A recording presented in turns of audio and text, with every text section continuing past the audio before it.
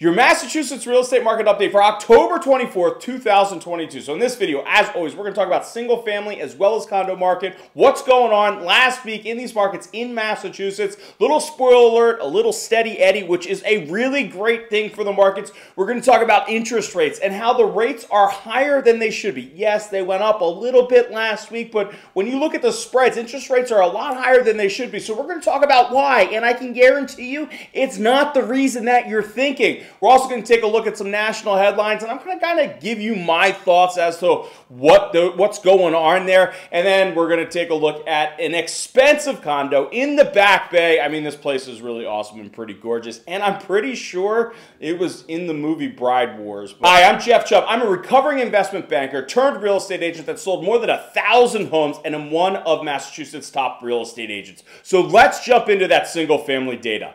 In the single family market, we have 5,595 units that are currently on the market. When we look at the gap from this, this time this year compared to this time last year, we currently have 1,134 more single family units on the market. Ding, ding, ding, buyer opportunity, right? There's more inventory for buyers to choose from, which really is a fantastic thing. When we move into new listings, we currently have 981 single family homes that were currently listed last week. Now, the average amount of new listings in the state of Massachusetts has been 1,087 for both August and September. So yes, we were a little below this number, about 10% below to be exact. You know, something that we'll definitely continue to keep our eyes on. But if our sales are falling and our inventory is falling as well, that is actually, believe it or not, a good thing. So moving over to under agreements, we had 954 homes go under agreement in the state of Massachusetts last week. Now, the four week rolling average was 1,011 units. So this is about 6% below that average that we saw then. But yeah, the under agreements went down 6% below average, but new listings went down 10% below average. So again, this is the stability that we're looking for in the market. We'd be more concerned if it was kind of more like this, if you will, where one was a lot higher than the other. There were 671 single family homes that sold sold last week. This was 21% below our four week rolling average of uh, 853 units. So definitely something we really want to keep our eye on. But we kind of knew that this was happening based off of the under agreement numbers that we saw back in September. The average sale price last week for a single family home in Massachusetts was $687,000 versus the median sales price of $580,000. And that months of inventory, months of inventory is how we gauge what type of market we're in. Zero to five months is considered a seller's market, five to seven equal market, seven months or more is that buyer's market. So we did continue to see the months of inventory number creep up in for single families in the state of Massachusetts. Last week, we had a months of inventory number of 1.49 months, and this is compared to last week's 1.44 months. Now, I've said it once and I've said it again, and I'm going to continue to say it. I really believe that this metric is a lagging indicator where it takes the last four months data and to come up with this metric. When you when you shorten it to two months, it, it shows more realistic of what this market is. It's it's softer than that one point, um, essentially five months worth of inventory would have you believe.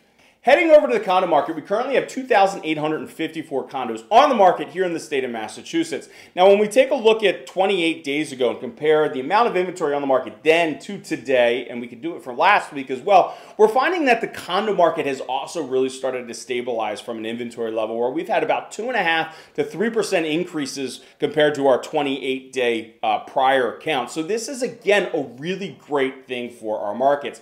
We had 436 newly listed condos condos that came on the market in the state of Massachusetts. Now, the average uh, for August as well as September was 457 units. So, yes, this is about 5% off of our average, but again, that's okay. We had 362 condos go under agreement in the state of Massachusetts last week. When we look at the average for both August and September, that number was 399. So, yes, we were about 9% off of our average under agreement mark here. We had 272 condos closed in the state of Massachusetts. Again, our average was 296 for the last uh, four week rolling average. So, we're a little below average there. The average sale price for a condo was $645,000. Meanwhile, that median sales price was $509,500. And then that months of inventory, the months of inventory, just like in the single family market, it did increase. Uh, currently, we have uh, 2.23 months worth of inventory on the market for condos, and this is compared to last week's 2.15. But if instead of that four months that it was calculated on, and if I adjust adjusted it to just two months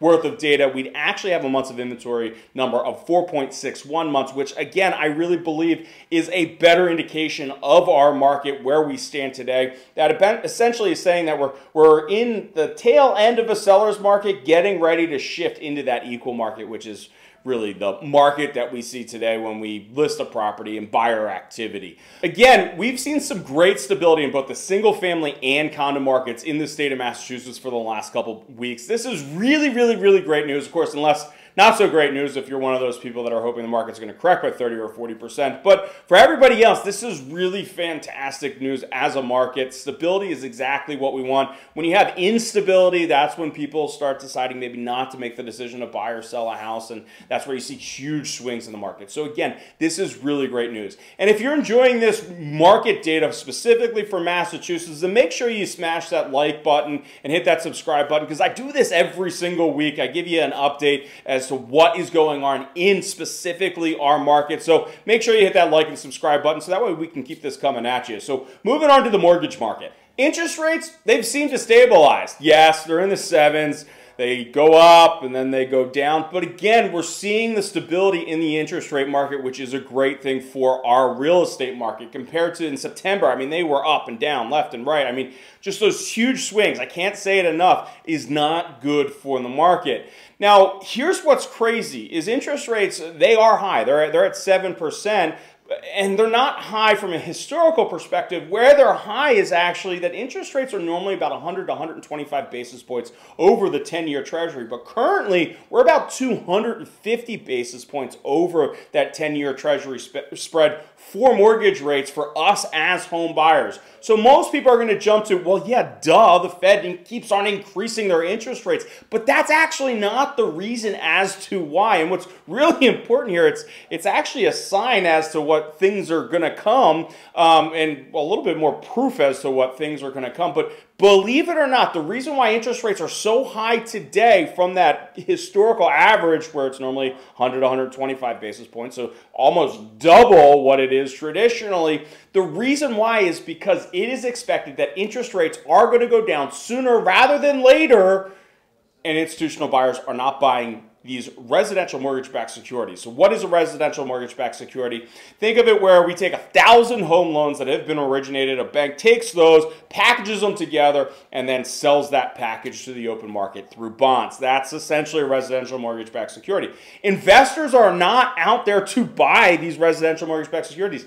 The liquidity in this market where you have investors buying these things has pretty much dried up. And the reason why is because they are aware that if interest rates go down significantly, the people that buy today well, they're just going to refinance. And that's the last thing these guys want because when they're investing their money and they're and they're doing their models, calculating their yields, things of this nature, right? They need a predictable yield. They need a predictable model. And right now there is no predictability in this market because there's no stability in the market, right? And so therefore, we have a lot less investors that are buying these bonds in this market, which means that these banks have to charge us a higher interest rate in order to lure these investors in to buy these bonds so that way the bank can ultimately get that capital back and then go originate a new loan. So it's kind of crazy. The reason why interest rates today are higher than they should be is because it's expected that interest rates are going to start going down sometime relatively like April-ish to mid 2023.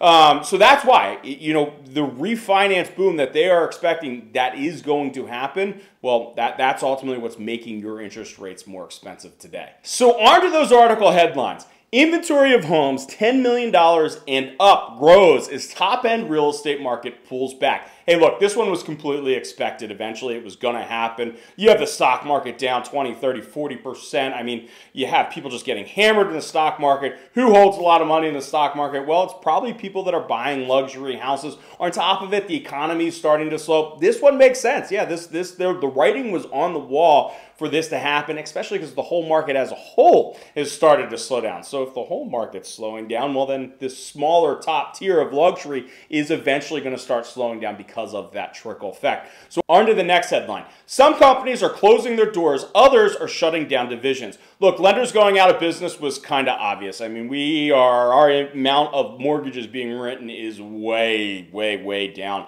And we're going to talk about that in a couple seconds. And a little pillow talk, if you will. Um, the word on the street is a top 10 lender in the country actually just missed a debt payment. So that's not really great signs for that company in particular. And a pretty crazy analysis came out that says and believes that 60% of all loan officers that are currently in the business today won't be in the business by the end of next year. I mean, pretty crazy the transition that we're seeing that's going on in the mortgage market. So on to the next article. Mortgage delinquency rate decreased in September. Hmm. For all of you guys out there that think that home prices are just going to crash because of an impending foreclosure crisis, Tell me how this calculates it in. Okay, so let's just take that foreclosure crisis, and that's ultimately going to be what sinks our market. Let's just take that, you know, argument, if you will, and we can shelve it for another month based off of that data. So application volume plunges to 25-year low. Now, First of all, a large part of this can be contributed to just the complete disappearance of refinances. Like nobody is looking to refinance their house right now. That market has completely disappeared. So that that decreased banking activity quite a bit. And the other one is obviously that interest rates have gone up and the market has started to slow. We've gone back down to the 2014 levels in regards to sales that we're seeing. Well, all of these banks were geared up for 2021 volume. So it makes sense that they're going to have to start laying people off as this mortgage volume really finds some stability, finds that new level. You're going to see a bunch of banks close because of this. Um, again, I'm going to shoot back to the stat that 60% of all mortgage lenders, like mortgage brokers, are expected to be out of the business by the end of next year. I mean, that, that's just an astounding stat. Then check out this article. Mortgage rates expected to fall to 5.4% by late 2023. Again, a little pillow talk here, but a CEO of a major bank was on the phone last week talking about how they are expecting, in their models, they are expecting interest rates to be in the low fives to high fours, possibly high fours next year. So ultimately what's going to happen is the economy is going to slow down and then the Fed's going to stop increasing interest rates and we're going to see some stability in the marketplace and the government's going to try to stimulate the economy and we're going to start seeing interest rates go down in order to stimulate our real estate market because housing is 15 to 18% of our total GDP in the United States. Housing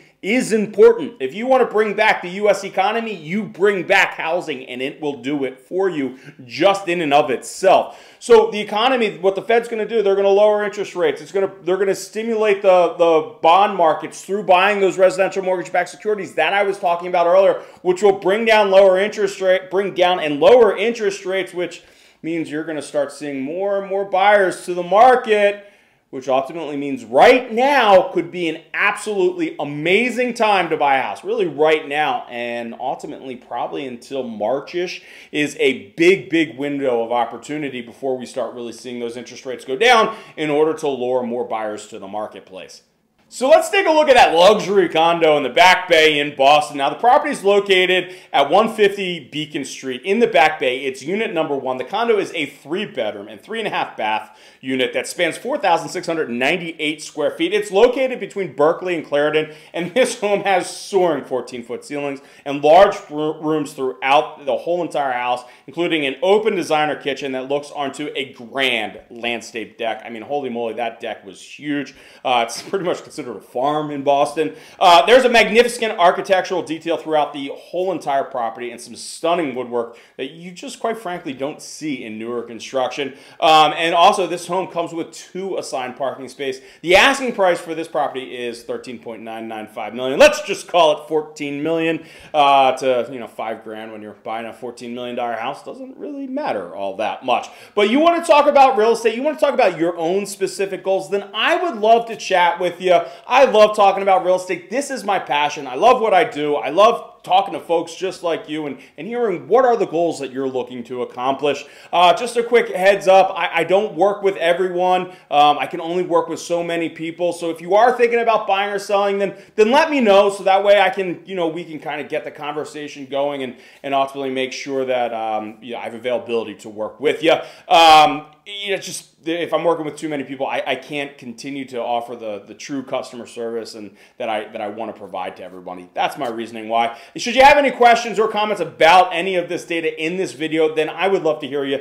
Throw them in the con comment section below. Uh, you can also find my contact information in the section below. Uh, but otherwise, keep in mind that an informed person is a powerful person. So until next week.